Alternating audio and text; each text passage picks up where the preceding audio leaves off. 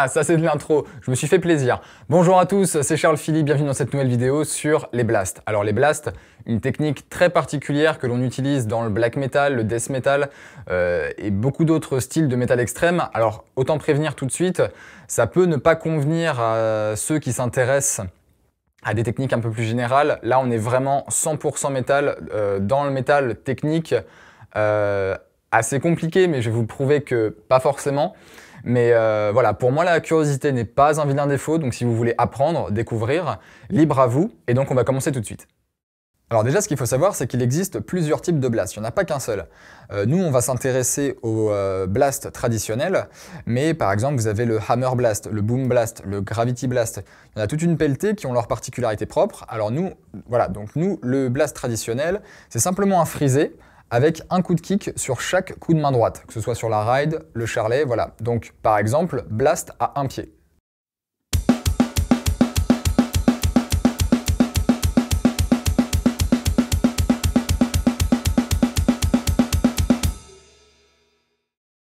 Et ensuite, blast à deux pieds.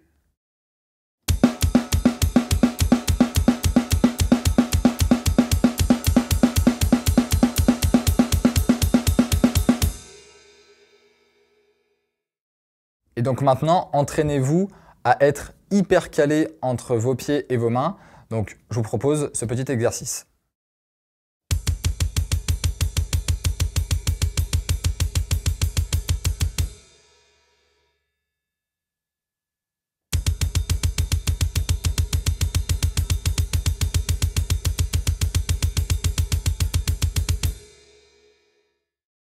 Alors maintenant, on va rentrer dans les détails.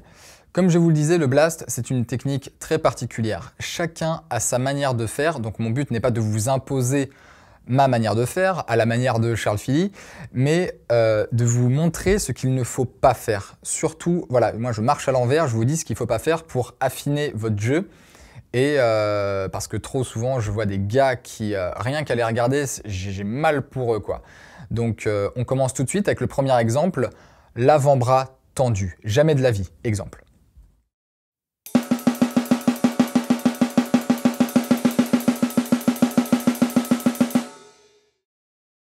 Qui dit avant-bras tendu dit poignet serré. Et dans un blast, plus vous serrez, moins c'est bon. Donc exemple de poignet serré, donc à ne pas faire encore une fois.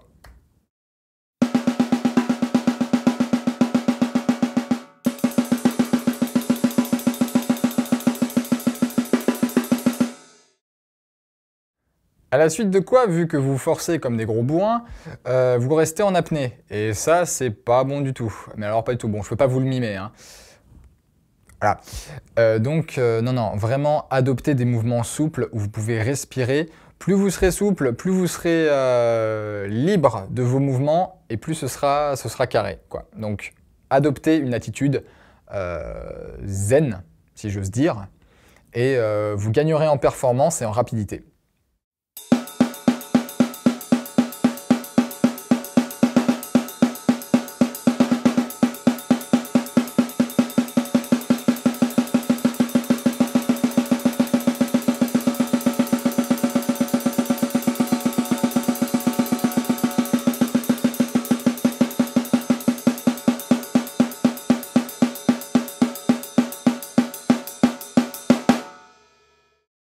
Alors comme dans les blasts, la main gauche est aussi sollicitée que la main droite, euh, vu qu'on est en frisé, euh, naturellement on a plus de force dans la main droite que dans la main gauche, donc il faut rééquilibrer euh, les forces pour que ce soit à égalité.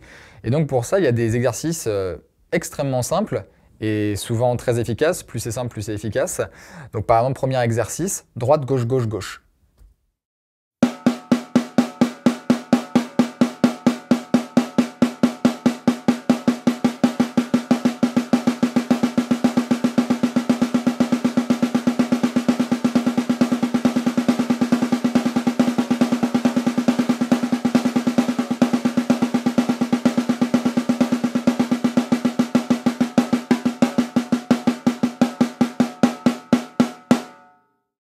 Ou alors 4 à droite, 4 à gauche.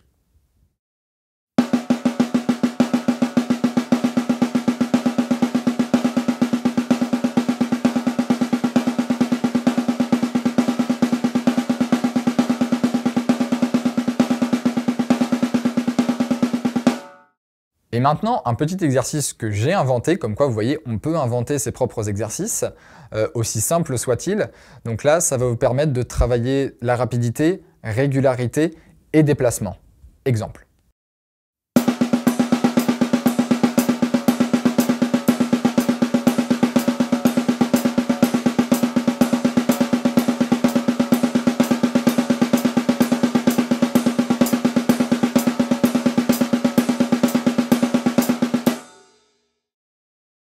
Alors maintenant, ce qui va être important euh, de comprendre, c'est que lorsque vous blastez, il faut que la baguette respecte un axe. Vraiment, qu'elle ne parte pas dans tous les sens en fonction de votre mouvement de poignet. Alors là, je parle exclusivement euh, pour les vitesses euh, assez rapides. quand vous blastez à un tempo médium, où c'est pas très très rapide, là, vous limite, vous gardez le mouvement du bras. Mais dans les vitesses très rapides, vous, euh, il faut garder ce même axe pour, euh, pour que votre baguette puisse avoir le meilleur rebond possible, la meilleure attaque, rebond, attaque, rebond, attaque, rebond. Et c'est là où vous gagnerez en précision et en efficacité.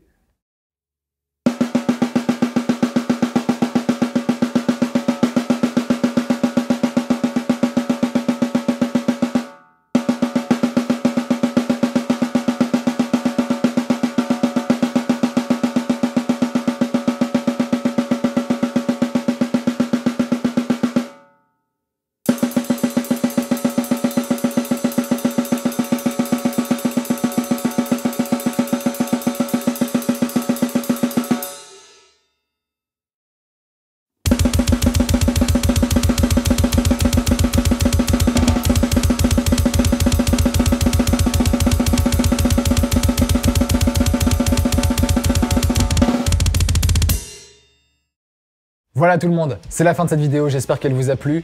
Le blast, une technique spectaculaire et impressionnante vue de l'extérieur, mais moi j'ai essayé de vous démystifier un maximum cette technique, euh, déjà en vous montrant que ce n'est ni plus ni moins que du frisé. En tout cas dans le blast traditionnel, c'est du gauche-droite. Ce qui va faire la différence, c'est votre vitesse. La vitesse, c'est de l'endurance, et l'endurance, c'est les bras, c'est les muscles. Donc tout le monde peut acquérir une bonne vitesse si le travail est progressif, régulier, un maximum.